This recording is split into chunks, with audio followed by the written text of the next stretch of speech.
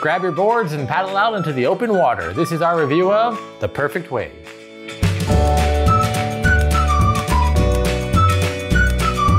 The Perfect Wave is an action points game about putting together the best wave and trick cards to score the most points. And I think this game really triggered my analysis paralysis and just feelings of regret.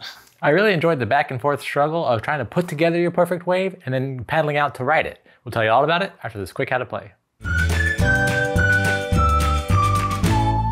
Players spend up to two action points to either play wave or trick cards or paddle out further on the water.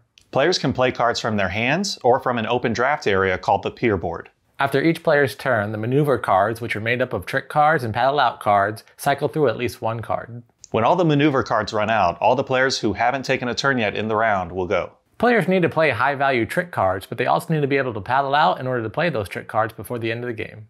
After the maneuver cards run out, players ride their waves and score points based on the wave size and the tricks performed. The player with the most points wins.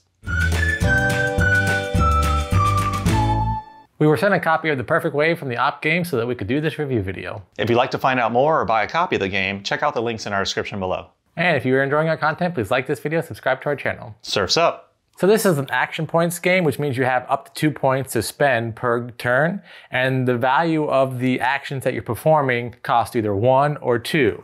So everyone will get a handy dandy reference card, which will go over kind of all the actions that you can possibly take and then what they cost. So you can see one action point or two action point. But the main actions you're taking are playing wave cards, which look like this or like this, and they have numbers, and you play them on your really long wave board.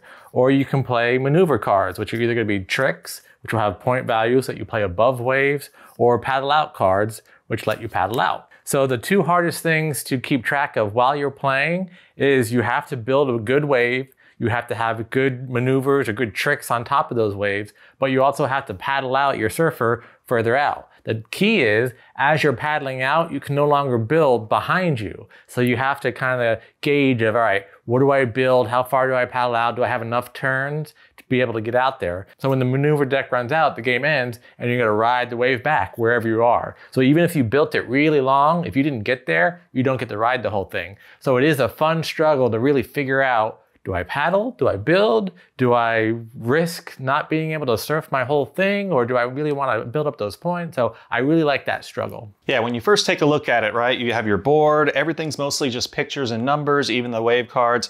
Every now and then the trick cards will have just a few words and everything. So it looks like you're like, oh, I can be relaxing. Uh, you know, I can be relaxed. I can build my wave and then just you know just coast and surf it on back. Day at the However, beach. yeah, just a day at the beach.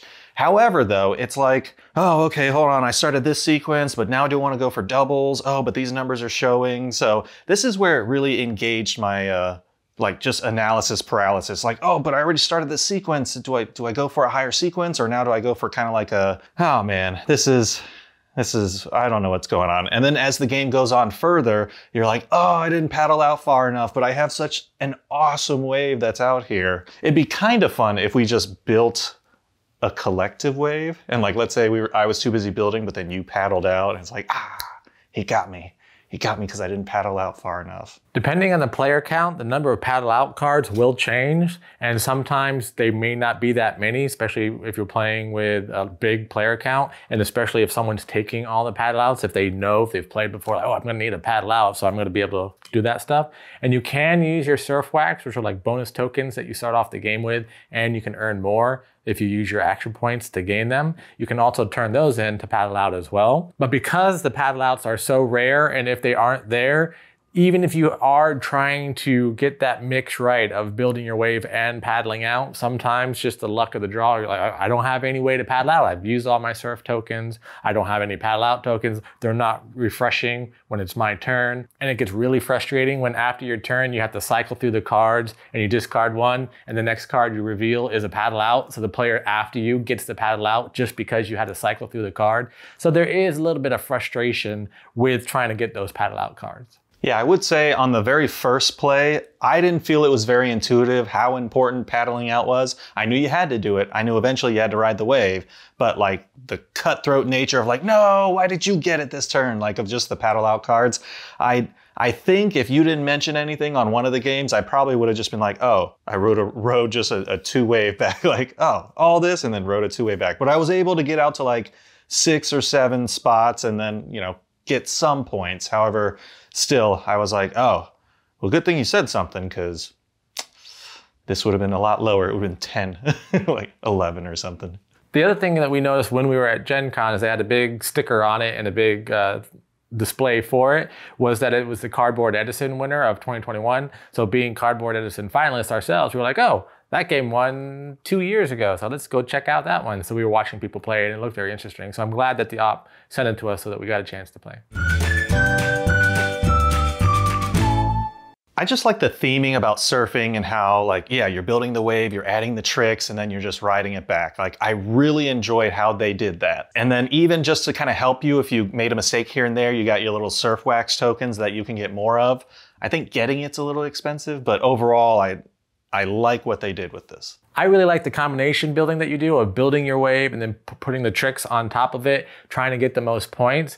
I do like the struggle a little bit of making sure you paddle out. I do think that that will be a hurdle for people playing it the first time if you don't explain it or if they just don't comprehend it enough. They may be like, oh, that sucked. My wave wasn't very good. And this game was a lot of fun. So I do think it has that step to get over. But I think once you kind of understand it and master it, for lack of a better phrase, then it's a lot of fun. What did you not like about the game? So I think it's just what we've been talking about, right? The whole paddling out. Like I don't think it's intuitive for first time players. Even if you do mention it or say it, I, I don't think it really lands until you actually lose very bad on that first game. Really like triggered a lot of things that like negative feelings in me. So I was just like, ah, frustrating, frustration's happening. However, I still had a lot of fun. And you know, once you finally realize that, you can go back and play it again and you're like, okay, I know what not to do now.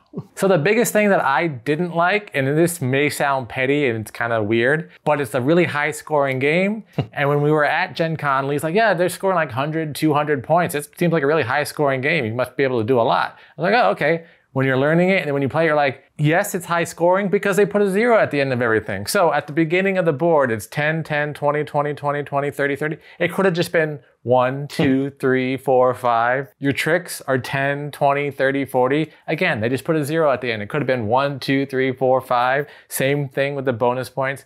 So they made it unnecessarily high scoring. So at the end of the game, it's like, oh, I have 200 points or I have 150 you have 15 points and I have 20 points. Why couldn't you just why couldn't you just do that? And again, I know that's petty, but that's just it's like why did you do that?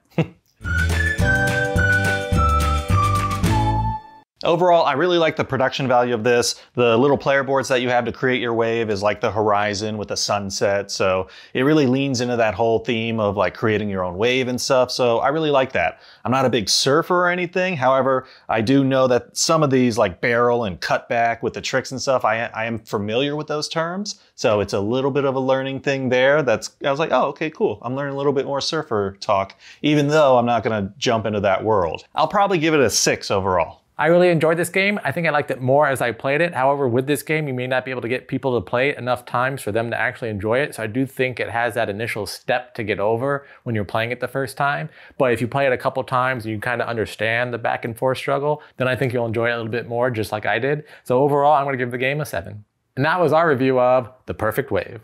What'd you think? Are you feeling peer pressure to play the game? Let us know in the comments below. Once again, we'd like to thank the op for sending this game to us so that we could do this review. And if you're enjoying our content, please like this video and subscribe to our channel. Until next time, I'm Lee. I'm Kenny. And go party like a board gamer.